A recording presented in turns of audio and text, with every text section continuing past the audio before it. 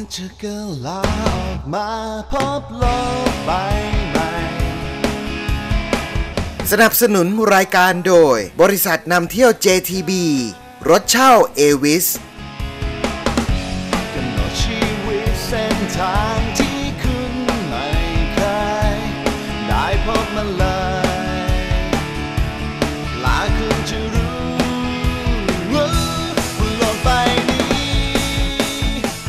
ตอนนี้เรานั่งรถโค้ชมาถึงที่ยามากาตะแล้วครับ เราจะมานั่งเรือนะครับ ท่องน้ำชมเมืองชมวิว กับบรรยากาศที่เย็นเยือกบอกเลยฮะว่าแม่น้ำแห่งนี้ครับ ถือว่าเป็นแม่น้ำที่สวยงามมาก ๆ ของประเทศญี่ปุ่นเลยครับ แม้กระทั่งคนญี่ปุ่นเองก็ยังพูดเลยครับว่าครั้งหนึ่งในชีวิตจะต้องมา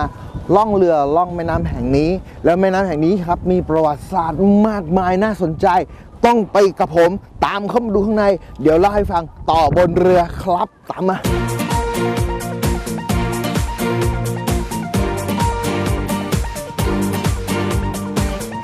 เอ้ยมาถึงนี่ฮะคุณผู้ชมฮะเจอปลาอายุเนี่ยถือว่าเป็นปลาที่ดีคล้ายๆปลาไข่ครับแต่นี่เขาใช้วิธีแบบโบราณเลยนะอันนี้เป็น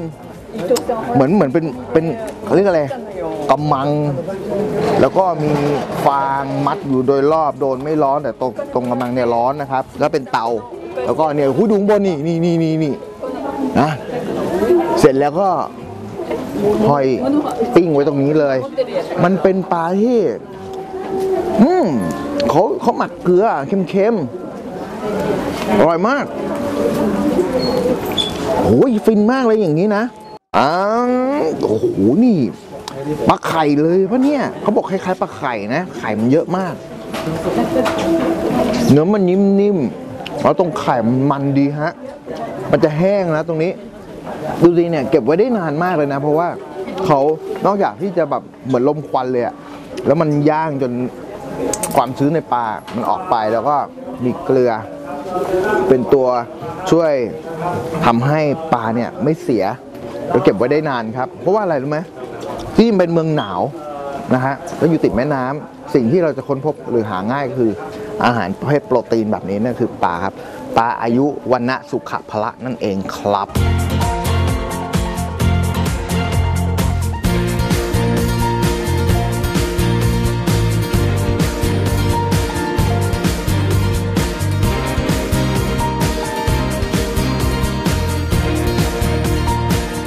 ตอนนี้นะคุณผู้ชม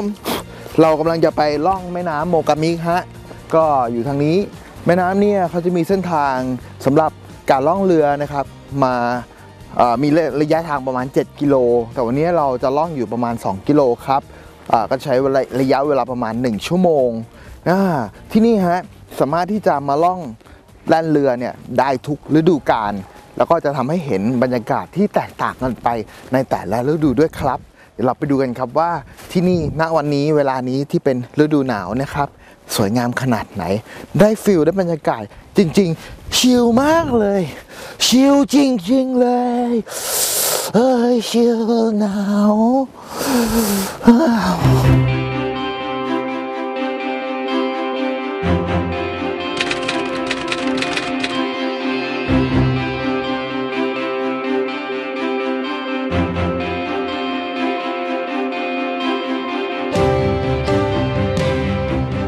ตอนนี้เราลงเรือร่วมกันหมดแล้วครับ ทั้งทริปทั้งบัสเนี่ยฮะแฟนคลับรายการหมดเลยรู้สึกประทับใจและภูมิใจมากนะคุณผู้ชม แล้วก็บรรยากาศในฤดูหนาวนะ นี่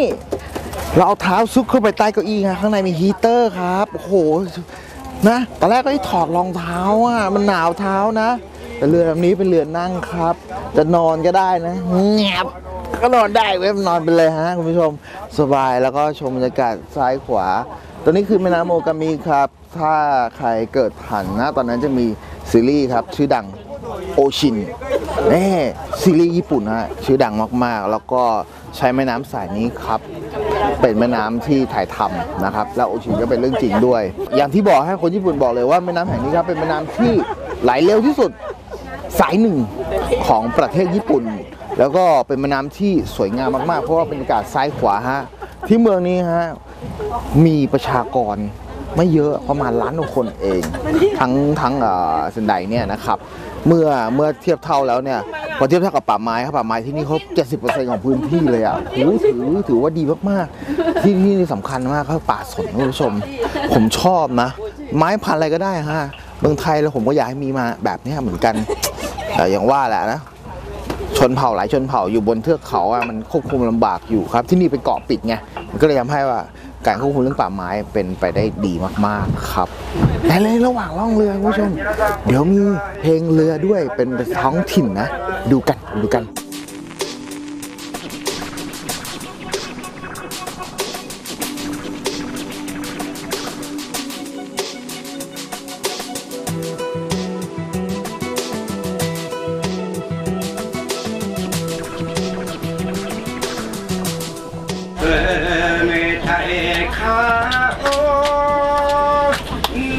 って行けば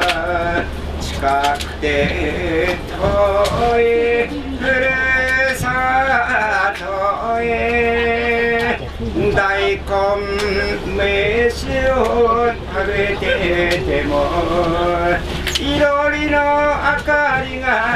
あったかい山の上山の上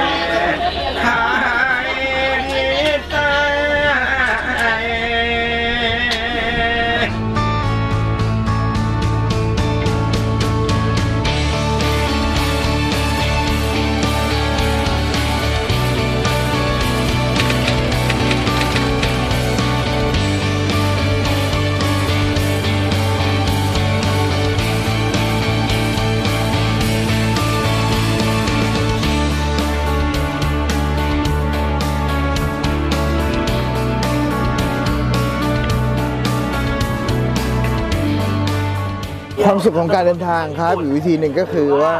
เราใช้กล้องนะครับกล้องเล็กกล้องอะไรก็ได้ สามารถที่จะเก็บความทรงจำผมเชื่อเลยครับว่าหลายคนบางโมเมนต์บางช่วงของชีวิตน่ะลืมไปแล้วครับ แต่เมื่อเราค้นดูรูปเก่าๆเดิมๆครับ เราจะทำให้ความรู้สึกว่าอู้รูปนี้ตอนนั้นเราอยู่กับใครนะครับ เรามีความสุขมากแค่ไหนถ่ายรูปเป็นอีกสิ่งหนึ่งครับ ที่ถือได้ว่าถ้าวันไหนไม่ได้ถ่ายรูปผมเองนะ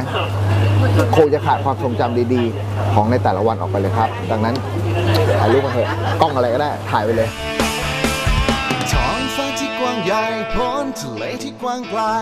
ยังมีอะไรมากมายให้ติดตามคุณค่างลำเนาวไพรเหมือนชีวิตที่ยิ่งใหญ่ยังมีอะไรมากมายให้คุณผู้ชม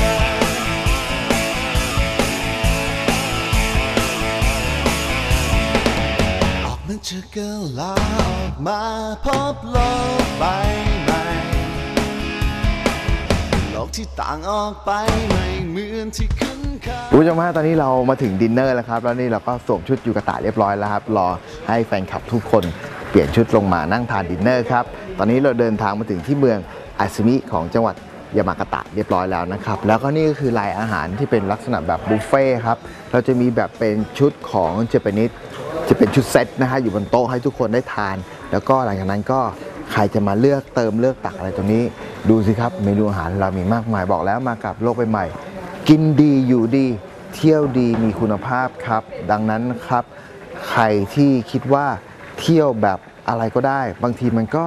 ไม่ได้ใช่ไหมเพราะบางคนอายุมากไม่อยากจองตั๋วเครื่องบินเอง ไม่อยากจองที่พักเอง สามารถทำให้ เราทำได้ให้ทุกคนได้เที่ยวสบายแบบนี้ครับ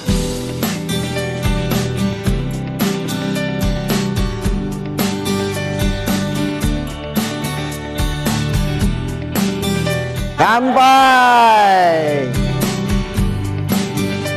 ขอขอบคุณ JTV ด้วยนะฮะ ที่จัดทริปแบบนี้ครับ เราได้วางแผนกันมาเป็นหลายเดือนครับ ตั้งแต่ก่อนปีใหม่นะครับ แล้วก็จนมาถึงวันนี้ทำให้เรา ได้เจอทริปดีๆแบบนี้แล้วก็ได้นักเดินทางร่วมมาร่วมแบบนี้ด้วย ทุกคนมีความสุขมากเลยครับ เดี๋ยวเรามาดูฮะเมนูที่นี่มีอะไรบ้างครับ คุณผู้ชมฮะเซตนี้เป็นเซตอาหารทะเลล้วนๆเพราะว่าณจุดที่เราอยู่ตรงนี้อยู่ใกล้ทะเลแล้วนะครับแล้วอาหารที่นำมาเสิร์ฟหรือวัตถุดิบต่างๆนั้นก็จะเป็นอาหารทะเลล้วนๆเลยครับอ่าแต่ว่าในนี้มีอะไรมั่งว้าวโอ้โหนี่ก็เป็นพวกของผักมีพืชมีเห็ดแล้วก็มีโปรตีนต่างๆ ดีมาก โดยเฉพาะเซตนี้ครับคุณผู้ชมดูนะทายดีสิครับว่ามีอะไรฮะมาแล้วนะ อ่ากุ้งหวานน่ะมีปลาหมึกมีกุ้งหวานแล้วก็มีเป็นปลาดิบนะฮะตัวนี้ถือได้ว่าเป็นของดีมากๆนะอย่างนั้นเราก็มาถึงที่นี่แล้วทุกคนที่มาที่นี่ทุกคนก็เซอร์ไพรส์กับอาหารที่นี่มากๆครับ เนื่องจากว่าเราได้ประสานมาล่วงหน้าแล้วครับว่าทริปนี้จะต้องเลิศเลอ perfect นะ อยู่ดีกินดีนอนดี แล้วก็เที่ยวอย่างมีความสุขกับพวกเราครับโลกใบใหม่ และ JTB ครับออกมันจะกลาออกมาพบโลกใบใหม่โลกที่ต่างออกไปไม่เหมือนที่คุ้นเคย